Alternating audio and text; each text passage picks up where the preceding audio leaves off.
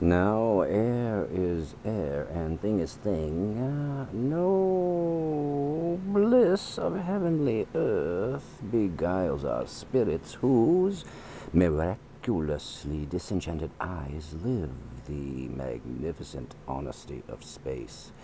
Mountains are mountains now, skies now are skies, and such a sharpening freedom lifts our blood, as if whole supreme this complete, doubtless universe we'd and we alone had made, yes,